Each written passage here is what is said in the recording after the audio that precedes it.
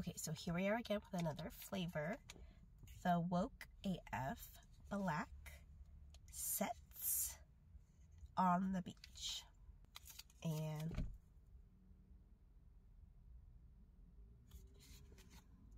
so this is a little bit funky, but we'll see what it looks like in the pink one. And this time I'll try a little sample of it too.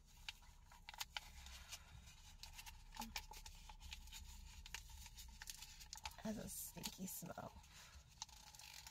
But we'll see how it goes. Probably added way too much water. I forgot about that, but that's okay. No biggie. Like a bluish color.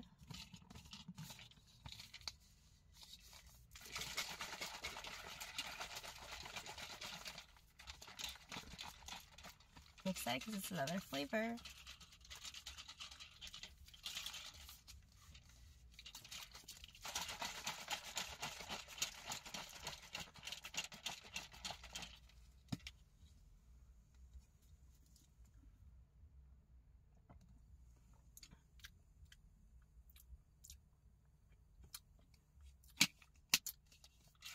It's a little fruity. I like it. We'll see how my workout goes though.